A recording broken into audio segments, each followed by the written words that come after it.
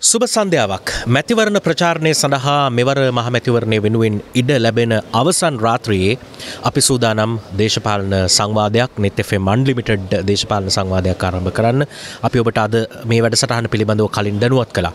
එක් එක් දේශපාලන පක්ෂ කණ්ඩායම් තව අවුරුදු පහක බලය ලබා ගැනීම වෙනුවෙන් තමන්ගේ අරමුණු තමන්ගේ ප්‍රතිපත්ති තමන්ගේ වැඩපිළිවෙල සමාජගත කරලා අද මධ්‍යම රාත්‍රයෙන් පස්සේ පැය හතලිස් අටක විතර කාලයක් ජනතාවට මේ කාරණා පිළිබඳව හිතන්න සමාලෝචන පෝෂණය කරන්න කාලේ දීලා තමන්ගේ ඡන්දය ප්‍රකාශ කරන්න බදාදා සූදානමින් ඉන්නවා. ඊට පෙර අද මැතිවරණ ප්‍රචාරණයට ඉඩ ලැබෙන අවසන් රාත්‍රයේ අපි ආරාධනා කළා අපේ රටේ ජනාධිපතිවරයෙකු විදිහට කීර්තියක් දිනාගත්තු තමන්ගේ දුරකාලය තුළ රටට අමතක නොවන මතක සටහනක් එකතු කරපු ජනාධිපතිවරයෙක් වර්තමානයේ අපේ රටේ අග්‍රාමාත්‍යවරයා ශ්‍රී ලංකා නිදහස් පොදු ජන සඳහනයේ නායකයා අග්‍රාමාත්‍ය මහින්ද රාජපක්ෂ මැත්තුමත් එක්ක මේ අන්ලිමිටඩ් සංවාදය ගොඩනගන්න අපි තීරණය කළා. වැඩසටහන වෙනුවෙන් බොහොම කැමැත්තින් ගරු අග්‍රාමාත්‍යතුමනි ඔබතුමන්ව පිළිගන්නවා අයිබෝ අයිබන්ඩ. විශේෂෙන්ම අගමැත්තුමනි ඔබතුමාලා අලුත් පාලන කාලයක් වෙනුවෙන් බලය ඉල්ලන්නේ වෙනදට වඩා වෙනස් අභියෝගයක් එක්ක විශේෂෙන්ම මේ කොවිට් තත්ත්වයක් එක්ක ලෝකයම තමන් හිටපු තැන්වලින් පහලට වැටිලා. අපිටත් එහෙමයි එහෙම බැලුවොත් මීට කලින් ඔබතුමාලා මැතිවරණවලට එනවා වගේ ඡන්දෙල්ලනවා වගේ නෙමේ වෙනස් අභියෝගයක් තියෙන්නේ. මේ අභියෝගය පිළිබඳව ඔබට දැනෙන්නේ කොහොමද කියන තැනින් මුලින් අපි ආරම්භ කරමු. දැන් අපිට බොහොම පැහැදිලිව මේ මැතිවරණ ජයග්‍රහණය ස්ථිරයි. අපි ඇත්වසම තුනින් දෙක චන්දයක් සඳහා තමයි අපි යන්නේ. මුද තුනින් දෙක චන්දයකදී ඉදම් විවස්ථා වෙනස්කම් වලට වනත් අපිට පාර්ලිමින්තු ඉඩ තියෙනවා තුනින් දෙකක් අපිට තියෙනවන. මොකද දහනවිනි සංශෝධනය විතරන්න වේ වෙනත් සංශෝධන එක්ක දහතුන මෙයාදී වශයෙන් සංශෝධන ගත්තොත් ඒ තියෙනවා මේක දහනවතාවක් සංශෝධනය වෙලා තියෙනවා. ඉති මහිතනව දැන් කාලය විලා තියෙනවා නැවත නව ව්‍යවස්ථාවක් හදලා ජසියලු ජනතා කොටස් එක්ක. ඒ සාකච්ඡාවට භාජනය කරලා ව්‍යවස්ථාවක් හදන්න. ඉතින් ඒ අවස්ථාව අපි මේදී බලාපොරොත්තු නෝ ජනතාව අපිට තුළින් දෙක චන්දයක් අපිට ලබාදී කියලා. ඒ වගේම අපි බොහොම පැහැදිලවා දෙදස් පහේ ඉඳලා දෙදස් පාලෝ දක්වා ගත්තොත් අපේ කාලය තුළ යුද්ධය අවසන් කරලා රටේ සංවර්ධනය අපි යොමුණා. දෙවන් ඉදන්න අපි ඒ කෙටි කාලය තුළදී ඒ කාලය තුළදී අපි බොහොම පැහැදිලිව රට සංවර්ධනය කර තමුන්න්ස දන්නවා. වරාය නව වරායක් අපිටාව නව ගුවන්තොට පොලක් අපි ඇදුව අධිවේගී මාර්ගම හැදුව. ඒ අධිවාර්ග මාර්ගය දකුණට ගෙනනිච්චේ ඇත්ත වසෙන්ම කොළඹ වරායත් කොළඹ ගුවන්තොට පොලත් යා කරා. හම්බන්තුර ගුවන්තොට පොලටත් හම්බන්තුට වරායටත්. යාගන්න විදියට අධිවේගි මාර්ගයක් අදල ඒවා යා කර. ඒ ආදි වශයෙන් ගත්තොත් ගමනාගම මහිතන ගමේ පාරවල් පළවිනිවතාවට කාපට් කරේ කාල. මම කාපට් පාරකට ඇතුළුනේ මුලදිම රත්මලානට ගියට පස්සේ. එමන තම් කොළඹ ගමේ ඉඳලා ගල්ගිස්සට යනකම් නෑ කාපට් පාරක් තිබුණ අපිට. ඉතින් එවැනි යුගයක් පහුකරලා තමයි අපි ඇවිල්ලදීන් ඔව. මේක ඇත්තටම අලුත් තත්ත්වයක් අගමැත්තුමනි දැන් ලෝක ආර්ථකය පිළිබඳව කොතරම් බලාපොරොත්තු තියාගෙන හිටියත් කොතරම් දුර ගමනක් ගියත් ඔවුන් හැමෝටම එක තැනක නවතින්න සිද්ධ වෙලා තියෙනවා. ලංකාවත් අපි රටක් විදිහට පහුගේ අවුරුදු කිහිපයේම ආර්ථිකය පිළිබඳව යම් අර්බුදකාරී තත්වල හිටිය පහුගේ රජයන් කිහිපයම ගත්තු තීන්දු තීරණ තියා බැලුවට පස්සේ ජනතාවට කතා කරපු විදිහ බැලුවට පස්සේ මේ තත්ත්වය අපිට දැනෙනවා මේක ඉතරම් ලේසි අභියෝගයක් නෙවෙයි නේ දගමැත්තුමා. යබං හිතන අපිට අපිට පුළුවන්කම තියෙනවා මේකින් ගොඩ එන්න. අපි මීට වඩා ආර්ථික අහිනිවලට මුණ පාල තියෙන රටක්. ඉතින් එවැනි අවස්ථාවලදිත් අපි ගොඩ ඇවිල්ල තියෙනවා. ඉතින් ඒ හින්ද මේක මේ අභියෝගයක් භාරාරගෙන මේ අභියෝගී ජයගන්න අපිට පුළුවන්කම තියෙනවා. ඊළඟ ප්‍රධාන කාරණයක් තමයි ව්‍යවස්ථා සංශෝධනය.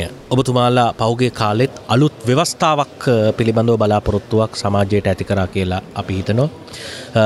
ඒ කොහොමුණත් ඒ ගැන කතා කරද්දී විපක්ෂ වේදිකාවල ඇහෙන්නේ.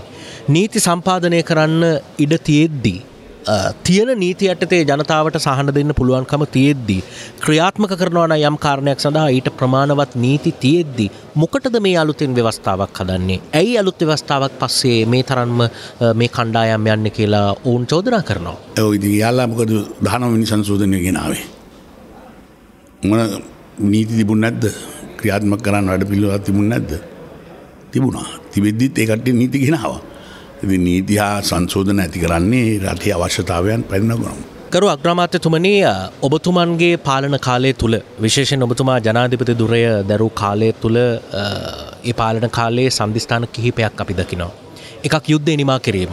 ඊට පස්සේ ආර්ථික සංවර්ධනය සඳහා ඔබතුමල්ල තැබූ පියවර. ඊට පස්සේ මාර්ග සංවර්ධනය යටතල පහසුකම් දියුණු කිරීම. මේ කිහිපයක් අපි සන්ධිස්ථාන විදිහට දකිනවා. ඒ පිළිබඳව විවිධ අදහස් තියෙන්න පුළුවන්. මේවා අතරින් ඔබතුමා දැනෙන ඔබතුමාට දැනෙන විදිහට මේ කාරයන් අතරින් හැරවුම් ලක්ෂයක් ලෙස හඳුනාගන්න කිවොත් මොකද ඔබතුමා හඳුනගන්නේ? ඇද යුද්ධ අවසන් කිරීම. ඒකත් ඊළඟට මේ අධිවේග හා මාර්ග පද්ධතිය සකස් කිරීම. ොද රටත් දියුණු කරනකට අපි විදුලිය දැබලන්න විදුලිය අපි සියට සියත් දෙන්න පුළන්කම ලැබුණ අපිට. අපේ කාලි තුළදී. අද සියට අනු නමේ දස නමය කැනෙති සියට සියක් තමයි. ඒ වගේම අපිට ඇත්වසම අපේ ඊළඟ අයිලක්කය වෙන්න ඕන දැම් ජනතාවට විදුලිය දුන්නා වගේ යටිතල පාසුකම් පාරවල් දුන්නා වගේ දැන් ඔවුන්ට ජලය බීමට ජලය පිරිසුදු ජලය ලබාදීමේ අභියෝග අපිට තියෙනවා. මොකද ඒක අපිට ලබා දීලා තියෙන තාම 141 42 පමණයි. ඉතින් ඒක ඒ සඳහා අපි පිරිසුදු ජලය නල ජලය ලබා දීමේ වැඩපිළිවෙලකට අපි අවතීර්ණ වෙන්න ඕන කියලා අපි විශ්වාස කරන්නේ. ගම තුළට. අනෙක් කාරණය හම්බන්තොට වරාය. පෞගේ කාලේ ඔබතුමාල විපක්ෂයේ ඉන්නකොට දිගින් දිගටම කිව්වේ හම්බන්තොට වරාය නැවත අපි ලබාගත යුතුයි. ඒ ඔබේ නිර්මාණයක් නිසා ඔබේ ව්‍යාපෘතියක් නිසා වෙන්නත් පුළුවන්. දැන් මේ ඇතැම් නාවික නිලධහරින් පවා කියනවා මුහුදු සීමාව පිළිබඳව යම් අධ්‍යයනයක් තියෙන දවසකට නැව් හාරසීයක් පන්සීයක් මේ අපේ මුහුදු සීමාව හරහා යනවා. ඇයි අපිට මේ නැව් ගෙන්න්න ගන්න බැරි ඒවට සේවය සලසන්න මේ වරාය හරහා පිට අවස්ථාවක් නැත්තේ ඇයි මෙහෙම ඉල්ලීම් කරනවා. ඔබතුමාල උත්සාහ කරන ඒ ප්‍රශ්නය මතුනේම ඔබතුමාල මේ වරාය නැවත ලබාගන්න උත්සාහ කරනවා කියලා කියපු ප්‍රකාශයත් එක්ක. ඒව විකුල්ල දාලා ඉවරයින්නේ බලාද අවුරුදු දෙසියකට බත් දෙෙනවා කියන්නේ වික්කා වගේ තමයි. රටක ජාතියන්තරව ගත්තගත් ගිවසුමක් ගැව්වම ඒ ගිවසුමේ ගිවසුම් වෙනස් කරන්න ඉතාම අමාරුයි. අපි සාකච්ඡා කරලා යාතන් ඉඩන්ටික සමහර ඉඩම් ප්‍රමාණයක් අපි බේරගෙන තියෙනවා. එතෝට ඊට හැර දැඟී ගිවසුම් ඔවුන් ගත්තට පස්සේ සල්ලි දීලා එක ඔහුගේ ඇති මේක මූලික වර්ද කරේ ග්‍යාන්ඩුව මෙ විකුණපුයගේ මට වතක ඇමතිවරු වෙනස් කල්ල විකුගේ. යම් යම් ඇමතිවරු යම් යම් හේතු හින්දා. මන්ද නැමුණ හේතුවක් හින්දද කියලා විරුද්ධ වුණා. ඒවන්න කතා තියෙනවා ඒව වෙනම කතාව මුත් විදුනම ඇමතිවරු වෙනස් කල්ලා වෙනත් ඇමතිවරෙක් දාලා යක කරගත්තා. මන්ට ඕන වැඩි. විගුණ ගත්තා. ඉති ඒයි පිටි පස්සේටිය මලික්ලා වගේ අය. ඒකට්ටිය තම හිටියේ. ඉදිරියේදී ඒව ලබා ගැනීම පිළිබඳ ඔබතුමාලාගේ තිබුණු බලාපොරොත්තු? අපි අපේ බලාපොරොත්තු කඩ වෙලා නෑ අපේ. අපි සාකච්ඡා කරන්න මොකද දැන් අපි ඉන්දියාවත් එක්ක සාකච්ඡා කළා. අපිට ගුවන් තොටුපොළ බේර ගන්න පුළුවන් වුණා. එතකොට ඒ වගේ අපි ඔවුන්ට එක සාකච්ඡා කරලා යම් වැඩ පිළිවෙලකට යනවා. තාම අපි අතඇරලා නෑ අපේ. ව්‍යායාමය. ඕ ආර්ථිකය පැත්තෙන් අපි කතා කළොත් කොරෝණ නිසා අගමැත්තුමා ලෝකයේ බොහෝ තැන්වල දොරවල් අපිට වැැහුණනි. එතකොට දැංග දේශී ආර්ථිකයක අවශ්‍යතාවයක් නැවත නැවත පැනැගුණා ඒ පිළිබඳව කතා කරන්න පටන් ගත්තා. සමහර වෙලාවට අපි අඩුමිලට විදේශී රටවල් වලින් දේවල් ආනයනය කරානං දැන් මේලා අපිට ඒව නෑනි ආනයන සීමා තියෙනවනි ඉති නිවැනි තත්වයක් ඇතුළේ සාකච්ඡා වුණා ඒව අපේ රටේම නිෂ්පාදනය කරානම් එහෙමනම් අපි රට ඇතුළේ නිෂ්පාදනය කරගෙන පරිභෝජනය කරනවනි කියලා. දේශී ආර්ථිකයක් පිළිබඳ ඉදිරි කාලයකදී මොනවගේ බලාපොරොත්තුවක්ද තියෙන්නේ. ඇත්වසිම දැන් අපි හැත්තාව ගණ්ඩ ඇත්තර දසකයට ගියොත් බැතිනිය ආරම්භ කරපු වගා ව්‍යාපාරය. ඒ ව්‍යාපාරය තුළින් ලැබිච්ච ප්‍රතිබල ඒවන්න සම්පූර්ණ හැත්තාතෙන් පස නැතිවෙලා කියන්නේ නැතිලා විෘතාර්ථිකට ගිල්ලාම් ලුරු සියලු දේ මේ තියෙන රතුලුණු බොම්බයිල් හුණු මොනාවේව හැම දෙයක්ම. මැල්ලුමට ගන්න කොලත් ගෙනාව. ගොට කොලත් ගෙනාව පිටරටි වෙනි තත්ත්වයක් ඇති වුණේ. ඇති ඒක එක වෙනස්කමක් දැන් අප ඇති කරන්න. අපි දැන් සීමා කල්ලා තියෙනවා. දොට ලංකාව තුළ මෙවා වගා කරන්න පුළුවන් වැඩ පිළිවෙලකට අපි යනෝ ස්වං පෝෂිත කරකණ්ඩ ආහාරද්‍රව්‍යවලින් වැඩිපුර වවන්න ඒවා අපිට පිටරට මැද පෙරදිකට අලුත් වෙළඳ පොලක් ඔයාගන්න පුළුවන්. දීකොත් දැන්ට තියෙන වෙළඳ පොලට අපිට යවන්ට පුළන්කම තියෙනවා. අපි ඒක තමයි අපි බලාපොරොත්තු වෙන්නේ. කර්මාන්තත් දේශය කර්මාන්තකරුවන්ට අපි සායෝගය දෙනවා පුළුවන් තරම් මෙහි ඒ කටයුත්ත කරන්න. දැන් මේ දේශීය කර්මාන්ත කිව්වට පස්සේ දේශීය ආර්ථිකයක් කිව්වට පස්සේ අපිට මතක් වෙන ප්‍රධාන කාරණයක් තමයි අගමැතිතුමා ගොවියට හොඳ මිලක් දුන්නු ගමන් ගොවියට වැඩි මිලක් දුන්නු ගොවියට වැඩි මිලක් දුන්නු ගමන් සිද්ධ වෙන්නේ පාරිභෝගිකයට පරිභෝජනය කරන්න තියෙන පාරිභෝගික බාණ්ඩවල මිලිහිල යනක ගොවියට වැඩිමිලක් දුන්න කියල කියන්නේ පරිභෝජනයට ගොට ගාන වැඩුවෙනවානේ හැබැයි සමහර වෙලාවට ඒ බාණ්ඩම විදේශ රටවල් වලින් අපිට ආනයනය කරන්න පුළුවන් වෙන අවස්ථා තියෙන පුළුවන්. ඊට අඩුවට කෙනෙක්ට එහෙමත් හිතෙන්න පුළුවන් දේශය කියලා කිව්වට ඒක අතර ගන්නකොට මිල වැඩි ඉතින්ට වැඩි හොඳයි ගෙන්න්න පුළුවන්නේ පිට රටින් ගෙනකොට අඩුවන කියලා කෙනෙක්ට හිතෙන්න්නත් පුළුවන් නුත් ඇත්ත කතාව ගොවියට හොඳ මිලක් දුන්නත් යම් පාලනයක් ඇතුව ගියොත් සාධාරණ මිලක් තමයි පාරිභෝගිකයට දෙන්නේ. ගොවියාට හොඳ මිලක් ඇතුළු සාධාරණ මිලක්. හොඳ මිලක් යන්නේ සාධාරණ මිලක්. එතකොට ඒක එක්ක සංසන්ධනය කරනකොට අපිට පුළුවන්කම තියෙනවා ඒ ගොවියත් සන්තුෂ කරලා පාරිභෝගිකයටත් සාධාරණ මිලකට ලබා දෙන්න. ඒ ඒ ඇත්වසම කළමනා කරණය කරන්න ඕන්න ඒ තියෙන කළමනා කරන කිරීම වගකීම කල්පනා කරන එක. ඕ ඊට පස්සේ ඒ ආර්ථිකය ගොඩනගන්න නම් ජාත්‍යන්තරයත් සමඟ ගණුදිනු කිරීම පිළිබඳ යම් සංවාද ඇති වෙලා තියෙනවා. අපිට විදේශ ඇතැම් ව්‍යාප්තවාදයන්ට එමන් නැත්තම් වෙනත් ආර්ථික දේශපාලන ආක්‍රමණයන්ට අපිට මුහුණ දෙන්න වෙයි. මේවට අපි කොහොමද මුහුණ දෙන්නේ? විශේෂෙන් දැන් MCC ගිවිසුම් වගේ කාරණ. මේ අත්සං කරන්නේ නෑ කියල කිව්වට මේ අපිට අත්සන් කරන්න වෙයිද? මෙවැනි ප්‍රධානයන් අපිට මගහැරලා යන්න පුළුවන්ද? මේ වගේ සංවාදක් තියෙනවානි. ඇ ඇත්වසම MCC ගියවසුම් අවසං කරන්න ඕනනෑ අපිට. අපිට ආධාර දෙන්න ඔවුන් කැමති. හැම රටක්ම කැමති.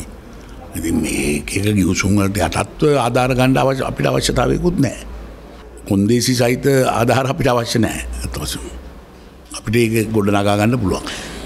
එකන්නේ ඒ සම්බන්ධයෙන් සාකච්ඡා කරන්න ඔබතුමාල සූදානම්. දැන් මෙහෙමත් කියනවනේ MCC කිවිසුමේ සියට හැත්තෑවක් මහාමාර්ග සම්බන්ධ කාරණ සියට තිහක් තමයි ඉඩම් සම්බන්ධව සාකච්ඡා කරන්නේ ඉඩම් කියන කොටසට අපි අකමැති ඒ හින්දා මහාමාර්ග සම්බන්ධ කොටස ක්‍රියාත්ම කරෝගන්න අපි කැමති. නමුත් ඔවුන් අපි කැමති සියට හැත්තෑව දීලා අපි අකමැති ඉඩම් සම්බන්ධ සියට තිය අතාරීද මේ වගේ ප්‍රශ්නකාරී තනුත් තියෙනවන ගමැත්තුම නෑ අපි අපි අපි රටේ ඉඩං කාටවත් දෙන්න කැමතිනෑ. අපේ ප්‍රතිපත්තියත් ඒකනේ. අපි ඊඩං එහෙම දෙන්නේ නෑ පෞගේ කාලය තිරකුරා මල්ලි සිට තිරකුණා මල්ලේ සිට කොළඹ දක්වා වූ ආර්ථික කලාපයක් අදලා දෙපැත්තෙන් ලබාදීමට සඳහා පියවර ගන්න අදුවමද අපි ඒවා ඒවා ප්‍රතික්ෂිපක. නමුත් බම හිතන්න මේ කොන්දේසි සාකච්ඡා කරන්න පුළුවන් ඕන කෙනෙකුට එක සාකච්ඡා කරට කිසි වරදන්න.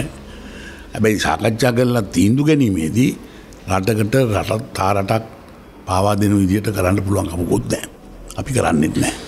මේ ප්‍රශ්නම ඔබතුමාගෙන් අහන්නේ දශක ගානක දේශපාලන අත්දැකීම් තියෙන පරිණත දේශපාලනඥෙක් විදිහට ඔබතුමා පොඩි වයසකදී පුංචි තැනින් පටන් අරගෙන රටේ විදායක ජනාධිපතිදුරය දක්වා ඔබතුමා පැමිණිය.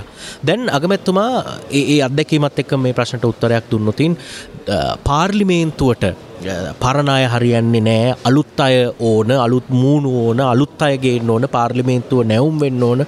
මේ වගේ සංවාධයක් ඇති වෙලා තියෙනවානේ ඔබතුමාගේ දේශපාලන අත්දැකීමත් එක්ක මේ ප්‍රශ්නය දකින්නේ කොහොම දෙකට දෙන උත්තරීමකක්ද නැද? ඒක හොඳයිනේ අලුත් අය එන්න ඕන අලුත් මුණු එන්න ඕන පරණ මුණුත් එක්ක මොද අලුත් මුණු විතරක් ඇවිල පාලිමින්තු තුළ වැඩේ විවාධ කර කර ඉන්න පුළුවන්.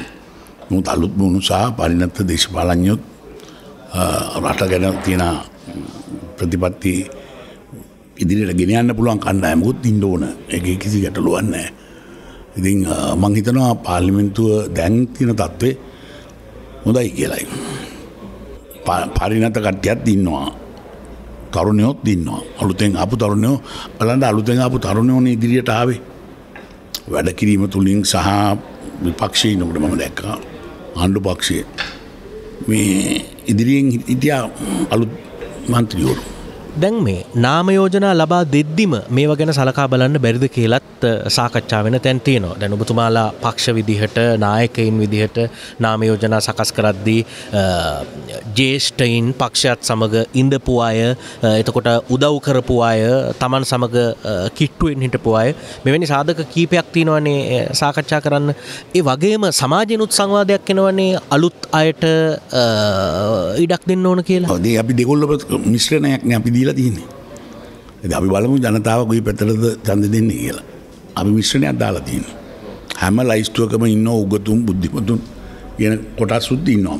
මොකද ඔය උගතුන් කියලා කිව්වම ද වෘතිකයන් කියලා කිව්වම දැන් අපේ අපි වෘතිකයන් ගැන නීතිඥවරු දොස්තරෝරු අපි හැමදාම පාලිමින්තු ඉඳල තියෙනවා. කවුන්ටන්ස්ලා ඉංජිනියස්ලා අපේ පාලිමින්තු හැමදාම ඉඳල තියෙනවා. එද යාලා ඒ වගේ යම් කොටසක්කට ඩොමිනේෂන් දුනම ජනතාව තමයි තීන්දු කරන්න ඕන. කවුද පත් කරලේ වන්න කියලා. ඉති ජනතාව සමාරයට දුස්ත්‍ර කෙනෙක්ව පත් කරන කන්නෑ නීතිංහික්ව පත් කරනගන්න වෙන සාමාන්‍ය ගමේ ජනතාවත් එක ඉනෙනෙක්ව පත් කරයිමකොද යා ජනතාවගේ ප්‍රශ්න පිල්බඳ අවබෝධයක් තියෙනවා. සමාරවිට රය රහයට වඩා. ඉති ජනතාගේ අතේ තමයි මේ කෞුද පත් කරන්න කියෙන තීන්තුව තියෙන්නේ. ඕ අලුතින් ඇතිවුණු කාරණත් එක්ක නේ අපි මේ සාකච්ඡාව මෙතෙක් දිග හැරමින් තිබුණේ දැන් ඔබතුමා අපේ රටේ හිටපු ජනාධිපතිතුමා වර්තමානය අපේ රටේ ජනාධිපත්තුමා ඔබේ සහෝදරයා ගෝටාබේ රාජපක්ෂ ජනාධිපතිතුමා. ඒ අනුව මේ ඔබතුමන්ලා දෙදෙනා ආකෘති දෙකක නායකින් විදිහට සමාජය හඳුන්වනවා. ගෝටාබේ රාජපක්ෂ ජනාධිපතිතුමා කියලා කියන්නේ ඍජුව තීරණ අරගෙන ඒ ඍජු තීරණ ක්‍රියාත්මක කරන්න කැමති කෙනෙක්. මහින්ද රාජපක්ෂ ජනාධිපතිතුමා කියලා කියන්නේ මෘදුව ජනතාව අතර ඉඳලා සාකච්ඡා කරලා තීරණ අරන් ක්‍රියාත්මක කරන්න කැමති කෙනෙක්. එතකොට මේ ක්‍රම දෙක ඉදිරියේදී වැඩ කරද්දි ගැටෙයිද කියලා සමහරු ප්‍රශ්න කරනවා රාජ්‍ය බලය හොබවලා කටයුතු කරමින් යද්දි. නෑ මම හිතන්නේ එහෙම ගැටෙන්නේ නැහැ. මෙතෙක් ගැටුනේ නැහැ. ඉතින් ප්‍රශ්නයක් ආවම ඒ ප්‍රශ්නය විසඳීමේ දේශපාලන විසඳීමේ වගකීම මට බාර දෙනවා. ගොට මම එක් කරනවා මේ ගෝටාබි රාජපක්ෂ මහත්තය කියන්නේ වැඩකාරයෙන්. එතුමාට දෙනවා රාජකාරය එතුමා ඉෂ්ට කරනවා. ඉතින් ඒකින්දා බයනැතුව එතුමට ජනතාව දුන්නා ජනාධිපතිවරය ප්‍රතිපත් මාලාවක් ඔහුගේ ප්‍රතිමත්ති මාලාව දැන් අපි ප්‍රතිපති ප්‍රකාශනයක් ගැහුවෙන ඇනීම පාලිමිතු හැබදාම ජනාධිපතිවර එකක් ගහනවා පාර්ලිමින්තුසි ඒ අගමැතිවෙන් ඉන්න පුද්ගලයා පක්ෂය එක ගහල දෙනවා. අපි මේ පාර එහෙම කරේ නෑ. මොද ජනතාව හැටනම ලක්ෂයක් චන්ද දුන්නේ අර ගෝටාබේ රාජපක්ෂ මාත්‍යය ඉදිරිපත් කරපු ප්‍රතිපත්ති මාලාවට වැඩ පිළිවලට. එතකොට ඒක ක්‍රියාත්ම කිරීම තමයි මේ පාර්ලිමෙන්තුවෙන් බලාපොරොත්තුවී යුත්තේ. අපි පාර්ලිමෙන්තුව තුළ ඒක ක්‍රියාත්ම කිරීමට අවශ්‍ය පියවර ගන්න. දැන් මෙවර ඒ සඳහා පුද්ගලයින් තෝරා ගැනීමේදී වෙනස්කම් කරන්න බලාපොරොත්තිනව දගමැත්තුමා විශේෂයෙන්ම වගකීම් බාර දෙද්දී ඇමතිකම් ලබාදීමේදී ඒ වගේ අවස්ථාවලද? මගේ දන්නේ ගෝටාබි රාජ ජනාධිපතිවරයා විශ්වාස කරන වැඩ පිළිවෙලක් ඔොළු ඇති තුවගේ දීක සාකච්ඡා කරලා ගොක් වෙනස්කාම් ඇතිවෙයි අලුත් තත්වයක් ඇතිවීම හිතන්නේ. දැන් මේ දිනවල විශේෂයෙන්ම දැන් ප්‍රචාරණ කටයුතු සඳහා අවස්ථාව හිමිවන අවසන් රාත්‍රී අපි ඉන්නේ. කෝවිඩ් වෛරසයත් එක්ක අපි දැක්කා මැතිවරණ සටනේ ටිකක් වැඩිපුර කාලයක් අපේක්ෂකයන්ට යෙදෙන්න සිද්ධ වුණා. සමහර විට මේක තව සතියක් දෙකක් පහුණා නම් අපේක්ෂකයන්ටත් මේක දරන්න අමාරු තත්වයක් වෙයි කියලත් සාකච්ඡා තිබුණා. ඒ අතරතුර කොහොමුණත් දේශපාලන වේදිකාවෙත් අපිට අහන්න දකින්න ලැබෙන අගමැත්තුමා මේ එකම පක්ෂවල එකම මත තියෙන තියෙන අය නමුත් වේදිකාව එකට ගැටෙන අවස්ථා. මනාපය තියෙන මනාප පුරයක් තියෙනකොටති හමදාම කටුවේනවා ඉතින් ඒක නාත්තන්න බෑ මේ සටන එක්සත් ජාති පක්ෂත් එක්ක හු ප්‍රේමදාස් සජිත් ප්‍රේමදාසගේ කල්ලියත් එක්ක සටනක් නැවෙන තත්වට ඇවිල්ලා මුද ඔවුන් නිහටයිනි. අද විපක්ෂය ශක්තිමත් නං අපි විපක්ෂත් එක තමයි සටමුගෙන. තොට විපක්ෂය පලවෙනිවතාවට බෙදිලා දුර්වල විපක්ෂයක් එක්ක සටනක් කරන්න හිත දෙන්නේ නෑ හුඟක් අයට. එතකොට ඒ සටන තියෙන්නේ මනාප සටනක් වෙනවා. තම තමන්ගේ පක්ෂය තුළම අයගේ අතර ගැටුම තමයි දැන් ඔහුන ක්‍රියාකාරී වෙලා තියෙන්නේ. ඒකයි තියෙන මෙත ප්‍රශ්නය අරයට වඩා මම්ම නාපගන්න ඕන මෙයාට වඩා මම්ම නාපගන්න ඕන එතකොට ඒ සටන යනෝ මිසක් අර විපක්ෂත් එක්ක තියෙන සටන යවෙන්නේ නෑ එකට හේතුව විපක්ෂ දුර්වලවීම විපක්ෂ ශක්තිමත්ව අපිත් එකට මුණ දුන්නනම් අර ඔක්කොම ලයිස්ටුවේ දහ දෙනා ඉන්නවනම් දහ දෙනාම එක්ක හුවෙලා අර විපක්ෂයට මුණ දෙනවා. අද වෙලා තියෙන දහ දෙනා තම තමන් අතර ගැටුමක් ඇති කරගෙන මොකද විපක්ෂයේ ක්‍රියාකාරී නොවන නිසා. ආවිපක්ෂය දුර්වල නිසා. ඒකයි ඔයගේ ඔක ඉතරම් බරපතලකාරයකුත් නෙවෙයි. නොත් මේක තමයි ඇත් තත්වේ ඒත් එක්කම මැතිවරණ ක්‍රමය දැන් අපි දන්නවා මැතිවරණ ක්‍රමය වෙනස් කිරීමේ බලාපොරොත්තුවත් එක්කයි දහනම්වෙනි සංශෝධනයට එදා ඔබතුමාලාගේ කණ්ඩායම ඒකාබද්ධ විපක්ෂ විදිර කටයුතු කරපු කණ්ඩායම දානවෙනි සංශෝධනයට පක්ෂව චන්දි දුන්නේ එදා එවකට ජනාධිපතිතුමා එවකට ශ්‍රී ලංකා නිදහස් පක්ෂ නායකතුමා ඔබතුමාලාගේ කණ්ඩායමට පොරොන්දුවක් වුණා. දහනවෙනි සංශෝධනය සම්මත කරයින් පස්සේ ඒත් එක්කම විසිවෙනි සංශෝධනය අරංගෙනවා කියලා. විසිවෙනි සංශෝධනය කියන්නේ මැතිවරණ ක්‍රමය වෙනස් කිරීම. දැන් ඒත් එක්කම මේ එකම වේදිකාවල මත ගැටෙන්න අදහස් ගැටෙන්න පුද්ගලයන් ගැටෙන්න හේතුවක් වෙලා තියෙන්නේ මේ මැතිවරණ ක්‍රමය කියලත් කියවෙනවන්නේ මේ ප්‍රශ්නවලට හේතුවත් මැතිවරණ ක්‍රමය කියලා ඒ හින්දා ඉතා ඉක්මනින් ඔබතුමාලාගේ රජයක් ඇතේ ඔබතුමාලා බලාපොරොත්තු වෙනවද මේ මැතිවරණ ක්‍රමය වෙනස් කරන්න ඒ සඳහා අවශ්‍ය සංශෝධන අරගෙනන්න. නැති අපි මේ ක්‍රමය පිළිබඳවත්සා මේ ක්‍රමේ හොඳ තියෙනවා නරග තියෙනවා. මේ ක්‍රමය ඉඳ හැඳුන්වයයි ද මීට ඉස්සෙල්ල තිබිච්ච ක්‍රමය ඒකත් වෙනස් කරන්න ඕනේ කියල කිව්වනේ. ඉති ඒක නිසා අපි ආපස්සට එතෙන්ට යනවාද. එම නැත්තම් මේ දෙකේ සංකලනයකට ඇවිල්ලා වැඩ කරනවද ගෙනක අපි තිීන්දු කරන්න ඕන. මොකද තනි තනියම සටන් කරනකොටත් ඒ ආසන තුළ මරා ගැනීම වෙඩි තිබා ගැනීම ගවල්ගිනි තබා ගැනීම ඕන තරන් සිද්ධ වුණා. මොකද මම ඔය දෙකේම තරන් කරලා තියෙනවා. එතකොට ඒක තුළ මම දැකලා මම අත්දැකින් දැක වලින් දැකලා තියෙනවා ඒ දවස්වල ආසනය තුළ ගැටුම් තියෙනවා. දිස්ත්‍රික්කයක් තුළ ගැටුමක් නෑ. දැන් අද තියෙන්නේ මුළු දිස්ත්‍රික්කයක් තුළව එක ගැටුමක් කිරවා එක පැත්තකින් මනාපවලට ගැටුම් එනවා අනි පැත්තෙන් දෙගොල්ලුගේ අතර ගැටුම ඇතිීම. ඉතින් එක ඉන්ද මේ ගැටුම් කියන එක මේක සාධකයක් මාරු කළ යුතු කාරයක් වෙන්නේ නැහැ. නොත් මේ ක්‍රමය පිළිබඳව අසුතුරක් රටේ ජනතාව තුළත් තියෙනවා මිනිසු තුළත් මේ අපේක්ෂකයෝ තුළත් තියෙනවා. ඇබැ ඉති එක නිසා මේක සාධාරණ ලෙස කල්පනා කරලා මැති අලුත් මැතිවරණ ක්‍රමයක් රටට ගැලපෙන දේශීය මැතිවන්න මේ ක්‍රමකවේ දෙයක් අපි අනුගමනය කරන්න ඕන කියලා. විශ්වාස කන. එකන්නේ ඔබතුමාගේ ස්ථාවරයේ තියෙනවා තාම මැතිවරණ ක්‍රමය වෙනස් කළ යුතුයි නමුත්තේ මොකක්ද කියන එක තවදුරටත් සාකච්ඡා කරන්න ඕන කියන කාර සාකච්ඡා කරල ගොද දෙකම අපි අත්දකින් දැකලා තියෙන හින්ද. කවරුවත් කියරනම් මේ ක්‍රම හින්ද ගැටුම් වැඩි කියලා එක පිළිගන්න මේක වෙලා තියෙන වියදම් වැඩි. මේ ක්‍රමේ තුළ අලුත් චරිතවලට ඉදිරියට එන්ඩ අවස්ථාව නැතිවෙනවා. එති අපි අලුත් චරිතත් එල්ලියට අරගෙන ගැටුණුත් නැතිවෙන ආකාරය වැඩ පිළිවලකට යන්න. ඕ වෙනස්කම් ගැන කතා කරද්දී තවත් මතුවෙන ප්‍රධාන කාරණාවක් තමයි ව්‍යවස්ථා සංශෝධනය දැන් ඔබතුමාලා කලින් අලුත් ව්‍යවස්ථාවක් පිළිබඳ බලාපොරොත්තු තියාගෙන හිටිය සමහරු සාකච්ඡා වෙනවා මේ ව්‍යවස්ථාව අලුත්ම ව්‍යවස්ථාවක් විය යුතුයි කියලා. සමහරු අහනවා මේක අලුත් ව්‍යවස්ථාවක් වෙයිද නැත්තම් මේක ව්‍යවස්ථා සංශෝධනයක් වෙයිද එහෙම දෙයක් ව්‍යවස්ථාව සම්බන්ධයෙන් වෙනසක් වෙනකොට ඒකට ඇඳුණු ප්‍රශ්න කිහිපයක්ම තියෙනවා. ඔවුද අපි ඒක පිළිබඳව සාකච්ඡා කරලා. අපි අනිවාර්යම මං ඉදනවා නව ව්‍යස්ථාවකට යන්න ඕනේ කියන විශ්වාසය මගේ තියෙනවා. මූලිකව සංශෝධනවලට අපි ආයුත්ව තිනවා. ඒ එක්කම ජනතාවකින් විමසලා ජනතාවට අවශ්‍ය විදිය ව්‍යවස්ථාවක් සකස්වීම දේශය ව්‍යවස්ථාවක් හදන්න ඕන කියලා. අපි විශ්වාස වන මේ රටේ තියෙන තත්ත්වයන් අනුව උතුරේ නැගෙනීට ගැන බලලා කන්ද උඩරට පිළිබඳවත් අවබෝධ කරගෙන රට තුළත් තියෙන දේශපාලනය අවබෝධ කරගෙන මේ මැතිවරණ ක්‍රමය වෙනස් කිරීම කළ යුතුයි කියලා මම විශ්වාස කරනවා. ඒ දැන් ඒ ඒ පාර්ලිමේන්තුවේ තිබුණු සංයුතිය පිළිබඳව අපිට අදහසක් තියෙනවා. ඒ සංයුතිය තව දින කහිපයකින් මැතිවරණයෙන් පස්සේ යම් ආකාරයකින් වෙනස් වෙයි. නමුත් පැරණි සංයුතිය ඇතුළේ වුණත් කතා කරනවා නම් TNA වැනි පක්ෂ කියලා තිබුණා. ඔවුන් සූදානම් අලුත් ව්‍යවස්ථාවකට සහය ලබා දෙන්න.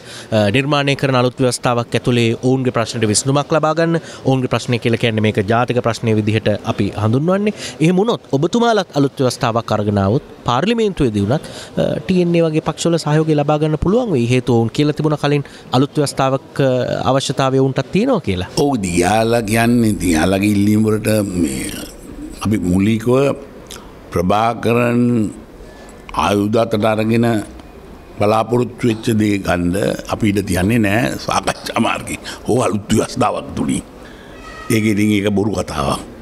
ඒක ඒකට ඉඩ තියන්න බෑපිට නොත් ඔවුන්ගේ ප්‍රශ්න විසඳන්න පුළුවන් ආකාරයට මේක විසඳන්න අපිට පුළුවන් කපතිී වස්ථාවක්. සංයුතිය ගැන කතා කරද්දී. තුනෙන් දෙක ඔබතුමාලගේ බලාපොරොත්තුව අලුතෙන් අවශ්‍ය නීති සම්පාධනය කරන්න අවශ්‍ය ප්‍රතිසංස්කරණ කරන්න ඒ සඳහාවන වැඩපිළිවෙල සඳහා ඔබතුමාලාගේ සංයුතිය තුනෙන් දෙකක් පිළිබඳව ඔබතුමාලා සාකච්ඡා කරන්නේ ඒක ඔබේ මුක්්‍ය බලාපොරොත්තුව ඔබතුමාල කලින්ම මැතිවරණ වේදිකාවිත් කිව්වා වැඩසරහන්වල දිත් කිව්වා බලාපොරොත්තුව මෙවර මැතිවරණ තුනෙන් දෙකක් ලබා ගැනීම කියලා යම් හයකින් ඒ බලාපොරොත්තු ෂ්ට කරගන්න බැරිවුණොත් තුනෙන් දෙක ලබාගන්න බැරිවුණොත් වෙනත් පක්ෂවලත් සහයුගේ ලබාගන්න පක්ෂයක් විදි ඔබතුමාල බලාපොරොත්තුවනවාද මැතිවරණ ජයග්‍රහණයක් කරෝතින් ඕ අන්තවාදීන් කණ්ඩායම් හැර අනිත්තෑගේ සායෝගය ලබාගන්න පුළුවන් අපිට. දැන් සමහර වෙලාවට රට වෙනුවෙන් යම් ප්‍රතිසංස් කරන කරනවා නම් පාර්ලිමේන්තු ඇතුළේ අත උත්සලා නම් මේ ප්‍රතිසංස් කරන කරගන්න වෙන්නේ සමරට ඕනම කෙනෙක්ගේ සහයෝග ලබාගන්න වෙන්නත් පුළුවන් සමහර අවස්ථාවලදී. ඕනුත් අපි බෝ පැහැදිලිව අන්තවාදීන් අපේ මේකට ගන්න සූදානන්න යම් යම් ගැන්න පාස්කෘ ප්‍රාණය නිසා ඇතිවෙච්ච ප්‍රශ්නය දයාම් තොට රටේ තියෙන රටේ ඇති ඉතිහාසය මේ පෞගිය කාලේ උන් හැසුරුණු ආකාරය දියා බලන්නකොට එවැනි කණ්ඩායම් නැතුව එවැනි අය කන්නම හැනි කන්න එවැනි පිරිස් අත්තැරලා අපිට සලකා බලන්න පුළුවන්. දැන්න ප්‍රධාන පාර්ශව ආණ්ඩු කරද්දී දැඟ ඔබතුමා සඳහන් කලා වගේ දැන් පාස්කු ප්‍රහාරය වෙන්න පුළුවන් බැඳුම් කර ගණුදුනුව වෙන්න පුළුවන්. මෙවැනි දේවල් කොච්චර එකන මෙවැනි දේවල් සඳහා කොච්චර කොමිෂන් සභහ පත් කරත් කොච්චර වාර්තායිලියටලාවත් කොච්චර විමර්ශන සිද්ධ කරත් මේ ප්‍රධාන පක්ෂ යම් අවබෝධයකින් වැඩ කරන්නේ වැරදිකරුවන්ට දඩුවම් කරන එකක් නෑ කියලා සමාජ මතයකුත් නිර්මාණය වෙලා තියෙනවා. නෑ ඒ හිතන්නේ කිසිීම මේ බැඳුම් කරෝ මේ හොරුන්ට නම් මංහිතන කිසිම ඉඩක් අපේ ගවනෑ බොහොම පැහැදිලිව තියෙනවා. අපි ඒ අවශ්‍ය අනුව අවශ්‍යතාව යනු අපි ක්‍රියාත්මක වෙනවා. ඒකට ලොකු දැන් අපි කියන්න අපේ පුරවැසියෙක් නෙවෙයි. පලවෙනි වරද පුරවැසියෙක් නොවන කෙනෙකුට මේ වගේ තනතුරත් දීම. එතකොට යා කාටවත් වග කියන්න රටින් ගියයින් පස්සේ අල්ල ගන්න බෑ. ඇති ඒ ඒ අනුව අපිට බොහොම පැහැදිලිව ඒ අයට ඒ රටවල්වට ගිහිල්ලා ඒ නීතිය අනුවත් කටයුතු කරන්න අපි බලන කොහොමද අපි ඒ අය ගෙන්න්න ගන්න පුළුවන් ක්‍රමවේද උන්ගේ කට උත්තර ගන්න ඕන ඒවට අවසර ගන්න ඕන.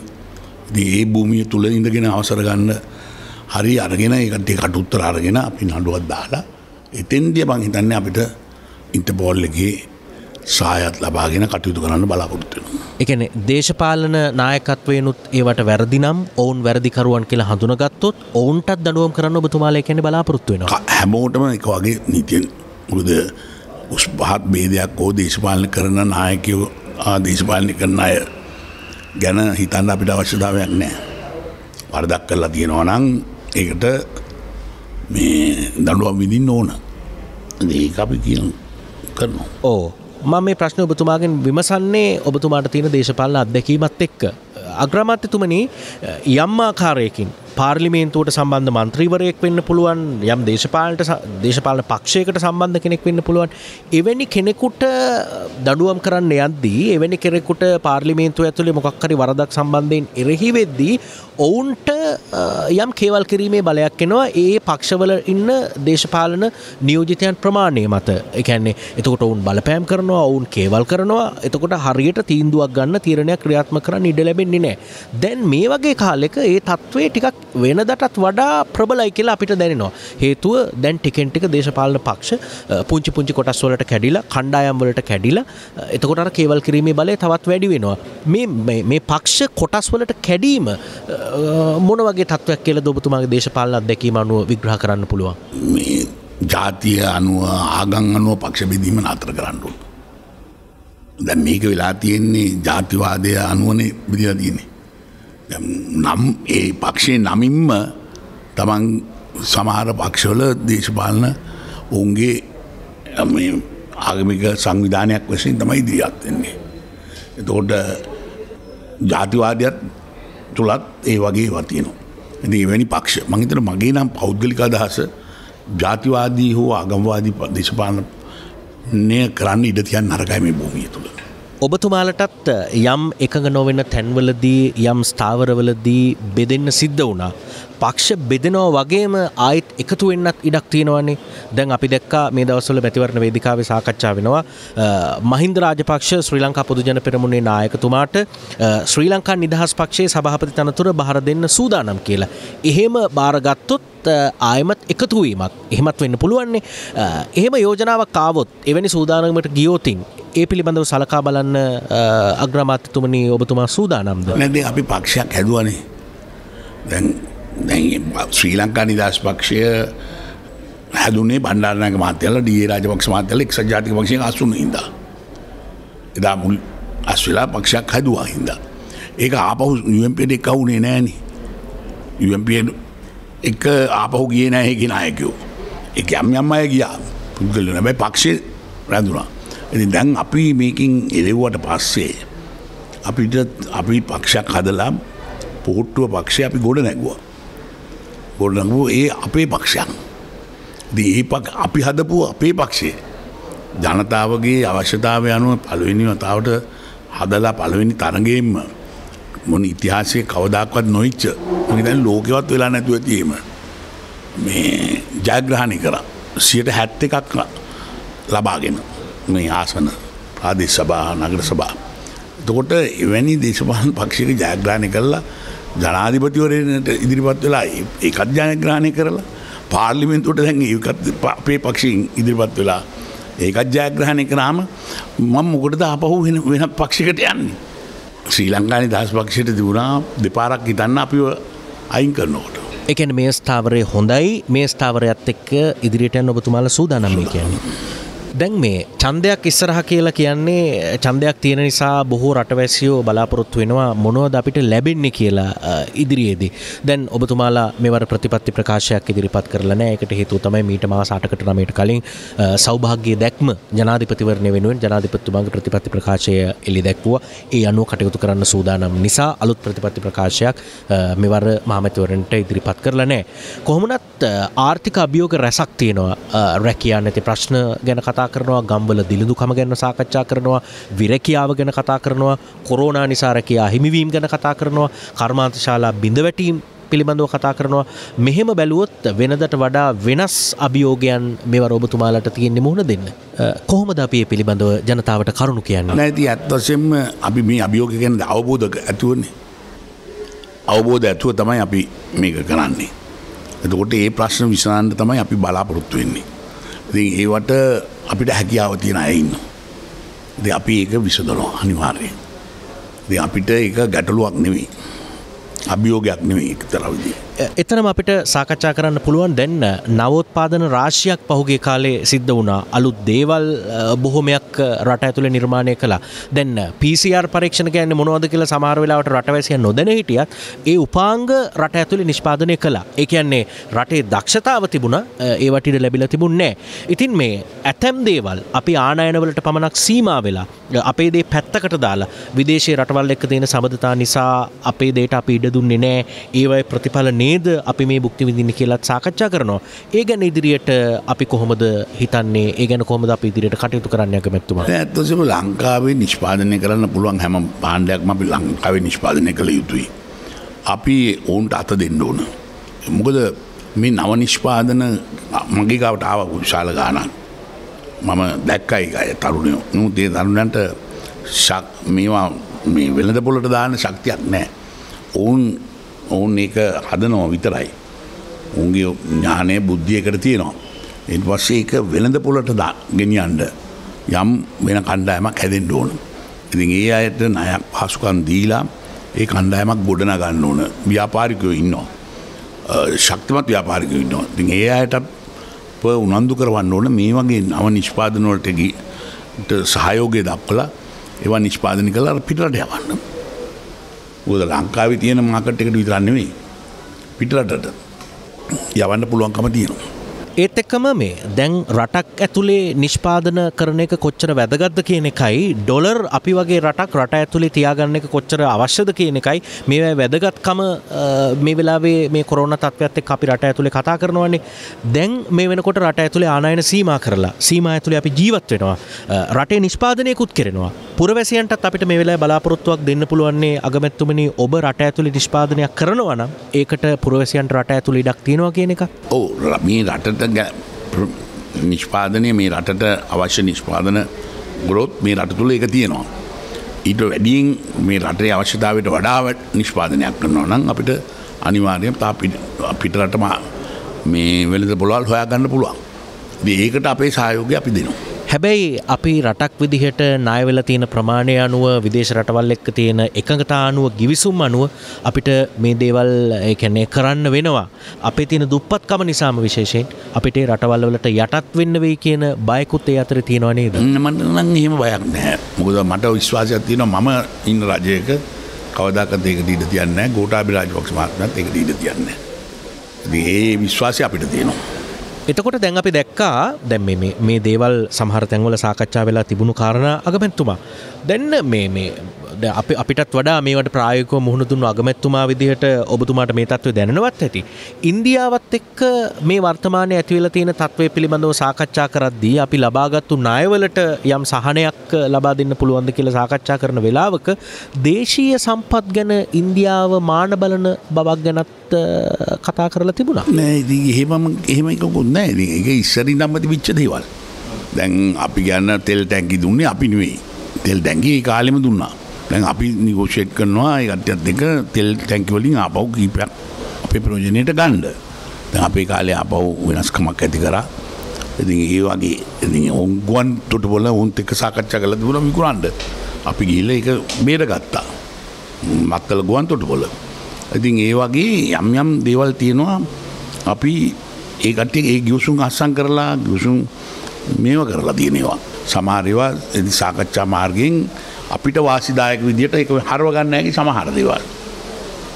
දැන් අපි ආ- වරායේ ආදායම් ලැබෙන්නේ මොකෙන්ද කියලා ඇහුවොත් දැනට වරායේ වැඩිම ආදායමක් ලබා ගන්නේ මං හිතන්නේ පඩි ගෙවන්න ඔක්කොම එක මේකක ස- මේ පෞද්ගලික කරණය කරපු ආයතනයකින් ලැබෙන අ, කොටස් වලින් මොකද අපි අපේ කොටස් වැඩියෙන් තියෙනවා ඉතින් එවැනි අලුත් වෙළඳ ලෝකයක් එක ගැව වැඩ කරනකොට තනි වෙලා ජීවත්වෙන්න පුළුවන් කමකුත් නෑ. ඉතින් යම් යම් වාසිදායක ගියවසුන්වලට යන්න තියෙනවා නම් අපි ඒ ගියවසුන්වලට යනවා. අපේ සම්පත් අපි විකුණන්නේ නෑ. දැන් ඔව් අ, කොළඹ වරායේ නැගෙනහිර පරන්තය ගැන ප්‍රශ්නේ. අ, ඔබතුමා එක්ක සාකච්ඡා කරලා වෘත්තීය සමිතිත් දැන් මේ වෙනකොට යම් එකඟතාවයකට ඇවිල්ලා ඉන්නවා. අ, ඔ- ඔබතුමා දන්නවනේ අපිට දොමකරය බාගන්න බැරි තත්ත්වයක් තිබුණේ. අ, මෙතනින් ඉස්සරහටවත් ඒ ගැටලු නැතිව අ, යන්න පුළුවන් කමක් තියේද? නැ ගැටුම දැන් ඒ- ඒක අපි අපිට ඒ- ඒක එතනින් ඒ ප්‍රශ්නාවෙන් පසන්නේ ඊළඟට මුණ දෙන්න ඕන.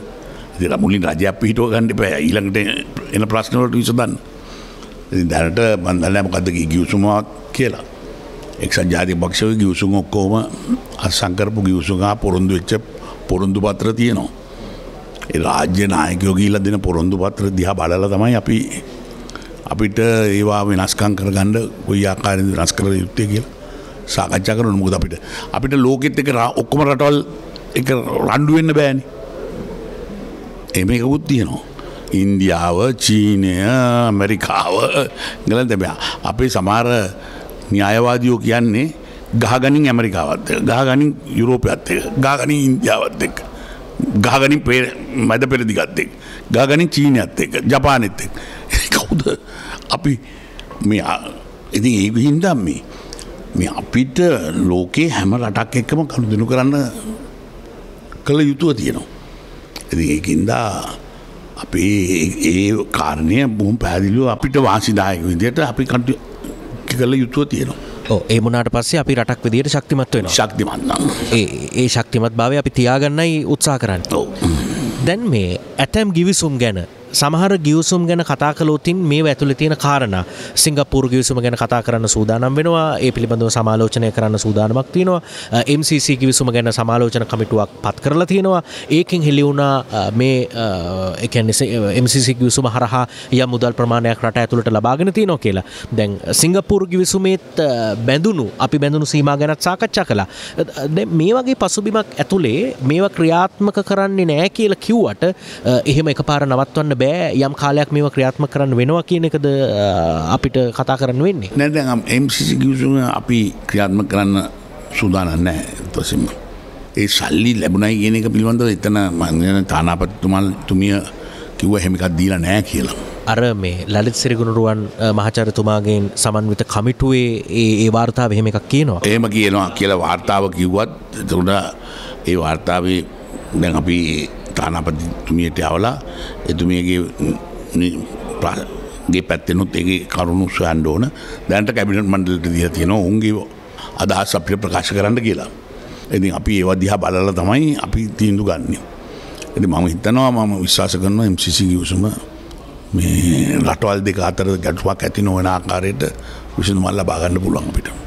ඔවු. ජනතාව කැමති මේ වගේ කාලෙක ඔවුන්ට සහනයක් දෙනවනම් ජනතාව බලාපොරොත්තුවෙන් ඉන්නවා මොනෝ හරි සහන මේ කාලෙ උන්ට ලැබෙයිද කියලා? අයවැල්ලේකන ඒ සාන ලැබේවි මම දැම්ම කිව්වොත් ඒක වැදගත්කමක් නැතිව දැක් මේ මේ සහන දෙන්න කොහොමද කියලත් අපි කතා කරන්න එපැයි අගමැත්තුමනි. දැන් පහුගේ ආණ්ඩුව බලයට පත්වෙච්චි සැනින් තෙල්මිල ඉතා විශාල වශයෙන් අඩු කලා තෙල්මිල අඩු කරාට පස්සේ ඒ වාසිය සමාජයට ගියාට පරිභෝයකයට ගයාට රජයට ලැබෙන බදු ආදායම අඩුවන දැන් ඔබතුමාලත් පහුගේ කාලේ ගැන පුරවැසියන්ගෙන් පුද්ගලයන්ගෙන් රටෙන් ලබාගන්න බදු අඩු කරා.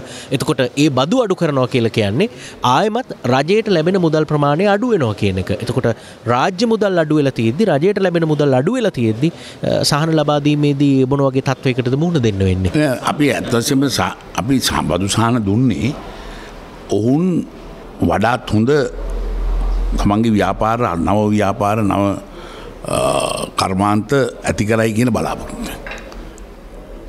බදු සියට හතලිස් පහ බදුගත්තුත් ව්‍යාපාරිකයකුගෙන් හෝ කාගෙන් හරි තමන්ගේ ආදායමින් මොකද ඉතුරු වෙන්නේ. එය තමන් ආයෝජනය කරන්න ඕනේ සොයාගන්න මුදල්න්නේ. එතකොට ඒකින්ද තමයි ඒ බදුසාහනය අපි ලබා දුන්නේ මේ අයට මේ අයකින් බලාපොරොත්තුව ඇතිව නව ව්‍යාපාරවලට නව යයි කියලා කරමාන්තවලට යයි කියලා. ඉති මමිලන්නේ අපි බදු සහන දුන්නේ වැනි බලාපොරොත්තුවක් ඇතිව.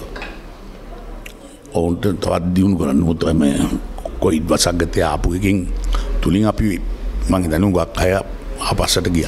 ඒත් එක්කම අගමැත්තුමා මේ මේ බදු සහන දෙනවා වගේම මේ පිළිබඳව යම් සමාලෝචනයන් කිරීමේ අවශ්‍යතාවයක් තියෙනවා නේද යම් කෙනෙක්ට බදු සහනයක් දීලා යම් සහනයක් දුන්නට පස්සේ ඒවා නිසියාකාරයෙන් නොවුන් පාවිච්චි කරලා ඒක ප්‍රතිඵල රටට දුන්නේ නැත්නම් ඒ පාලන කාලය ඇතුළේ ඒ රජයට ලබාගන්න බැරිවුණෝතින් ආයමත් ජනතාව අතරට ගයාට පස්ස ජනතාවගෙන් ප්‍රතික්ෂේප වෙන්න වෙනවා නේද පක්ෂවලට? නෑ අපි අපි දීපු සානවලින් ප්‍රතිඵල තියෙනවද නැදගෙන එක වැඩි කලක් යන්න ඉස්සෙල්ලා පේනේ මොකද මේ මාසාට තුලදී තිබුණේ ජනාධිපතිවරයා පත් කරා. පත් කරපු දත්සිදල විපක්ෂය බලය හිටියේ. අපි ආණ්ඩු කරත් අපි අගමැතිකම් වරත් විපක්ෂයට ඕන වෙලාවක අපි පන්න දැමීමේ හැකියාව තිබුණ. ඒක තමයි අපි අන පනත් ගේ නාදනකොට මුදල් පනත් ගේ නාදනකොට එක පරද දනවා කිවේ නූත් එතකොට අපි ඒකින් පසු බැස්සා. ඊළඟට කොයිට් වසංගතය ආවයින් පස්සේ ඒකට මූුණ දෙන්න වුණා. එක අලුත්ම තත්වයක් නිති මගේතන කෝටත් දෙරාජපක්ෂ මාත්මයා තමයි තාම ඉක්මනින්ම මේ ප්‍රශ්නයට විසඳුමක් සොයාගෙන ගිය ලෝකය අනිනායකින්ට ඉස්සෙල්ලා. විසංගේ පුද්ගලයා නායකයා. එතකොට ඒක හින්ද තමයි මහිතන්න මේක මෙහෙම ලංකාව මේ කොයිඩ්ව සංගතයෙන් බේරුණේ. මෙතන් ඉක්මනින් අපි ගොඩ නැගුණේ. ඉතින් ඒ වගේ දැන් ඒකත් එක්ක ඇතිවෙලා තියෙන තත්ත්වත් එක්ක අපි අපිට මුණදීලා මේ කරන්න පිල්බඳව අපි හැම කෙනෙක්ම ඒ විශේෂඥයෙන් යොදෝල මේක දිහා බලාගෙන තමයි අපි ඕ කොහොම වනත් අපිට අයිමත් සාමාන්‍ය තත්වට යන්න පුළුවන්ද? සාමාන්‍ය යාන්ත්‍රණය ආයි දියත් කරන්න වෙන්න මේ කොරෝනාර්බුදයක්ත් එක්ක කවද කියන එක තමයි රටක් විදිට අපි හැමෝම් බලාපොරොත්තුවෙන් ඔයිද මැතිවරණයක් තියල ඉවරලා අලුත් පාලනයක් ඇතිවුණ ගමන් මේක වෙනස් වෙනවා. ඕ දැන්න ඒක තමයිනේ ඔබෙත් බලාපොරොත්තුව අපත් බලාපොරොත්තුව එකැන රටෙත් බලාපොරොත්තු වෙලති ඒක තමයිනේ කොමුණත් මේ මැතිවරණය නිසා කොවිඩ් සම්බන්ධ කාරණා අපිට හරියට එන්නේ නෑ තොරතුරු අපිට දෙන්නේ නෑ. මේවා සඟවලාද තියෙන්නේ කියලා සමහරතැන්වල සාකච්ඡා වෙනවා. මැතිවරණයෙන් පස්සේ රට වෙනස් තත්වයකට මුහුණ දෙන්න සිද්ධ වේද කියලත් සමහරු සැක පල කරනවා. නෑ දැ කොයි ඇත්ත කතාව අපි කිසි දෙයක් ජනතාවකින් හඟන්න. මොද ජනතාවකින් අංගන්න බෑ මේ තියෙන මාධ්‍ය ඔයාලා ඉන්නකං. මොකද ඔයාලා හැම තැනම රිංගනවානේ ඉංගලම ගැනද ආවරණය වෙනවා. ඉ නිසා මේක හංගන්න බෑ ආණ්ඩුවකට. ඉති අපි හංගන්න සූදානමුත් නෑ මොකද අපි බොහොම විවෘතයි.